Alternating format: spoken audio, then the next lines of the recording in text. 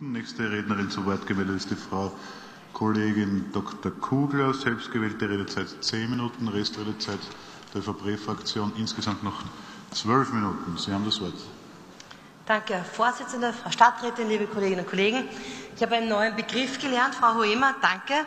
Familienzentrierter Antifeminismus, muss ich mir merken, ist aber auf jeden Fall besser als ein Feminismus, der bei der Burka endet oder die Burka vielleicht sogar als Selbstverwirklichung der Frau sieht oder das ähm, feministische Familienbashing, das wir von Rot-Grün in Wien erleben.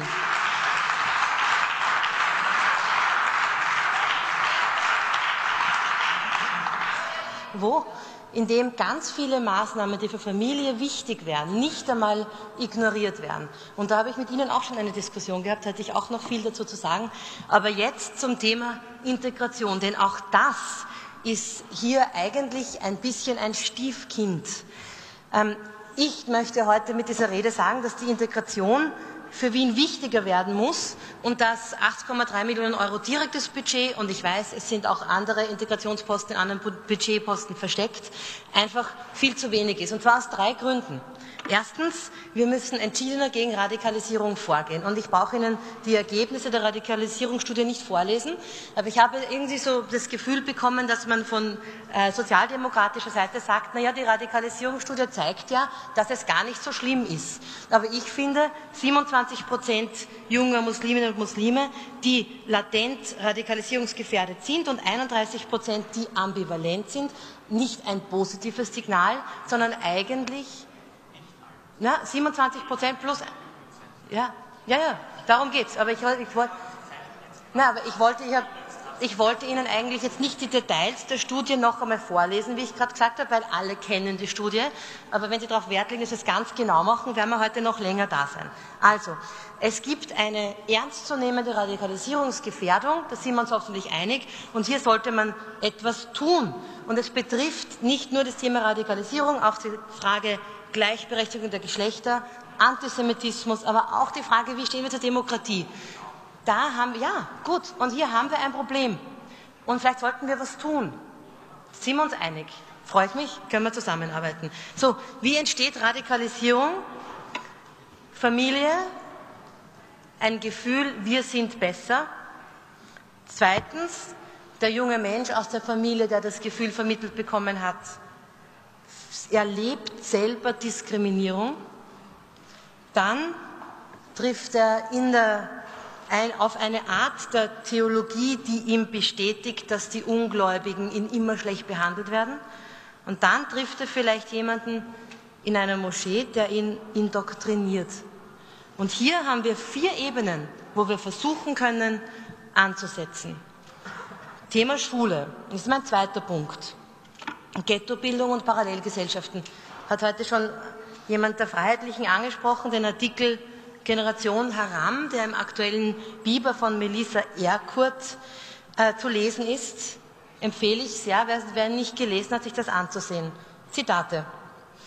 Äh, es sagt ein Jugendlicher, ein paar meiner Freunde, für die Religion nie ein Thema war, sagen auf einmal, sie widmen ihr Leben jetzt Allah.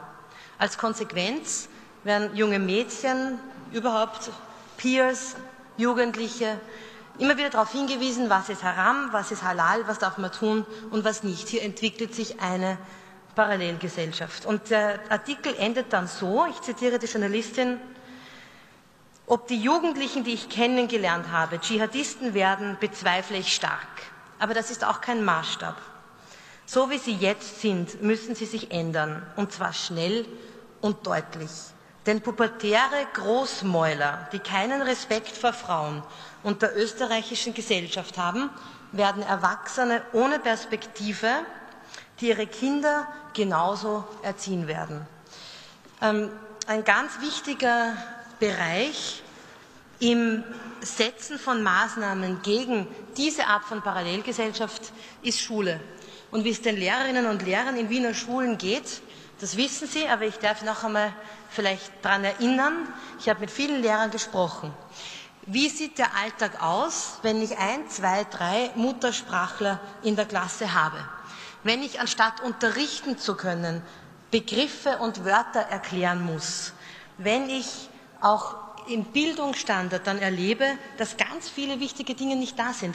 Und ich möchte auf das neunte Pflichtschuljahr hinweisen. Es ist nämlich eine, ein, ein, ein besonders schwieriges Jahr, weil es viele Jugendliche gibt, die dieses Jahr in einer Oberstufenschule überbrücken, weil sie sowieso anschließend was anderes machen wollen und weil man aus einer öffentlichen Mittelschule oft mit gar nicht so schlechten Noten dann in diese Klassen hineinkommt, die Lehrer dort draufkommen, es fehlt ganz viel, es fehlt sprachlich, aber auch an Inhalten. Und ein Geschichtelehrer in einer HTL hat mir erzählt, dass er in der ersten da mit 30 Leuten sitzt, wo er weiß, die Hälfte davon geht nach dem ersten Jahr.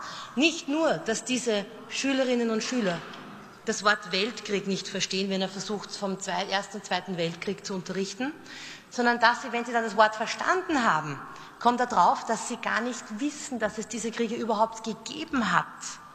Und wenn er dann erklärt hat, dass es sie gegeben hat, kommt drauf, es interessiert sie auch gar nicht. Das ist für viele Lehrerinnen und Lehrer Alltag in Wien. Ähm, die Frauen, die unterrichten, erleben, dass sie sich oft gegenüber Eltern bzw. Väter von Schülern nicht durchsetzen können. Zitat, eine Lehrerin hat mir erzählt, sagt der Vater zu ihr, äh, Gespräch mit mehreren, sagt er zum einen, du Mann, du gut, du Frau, du nix.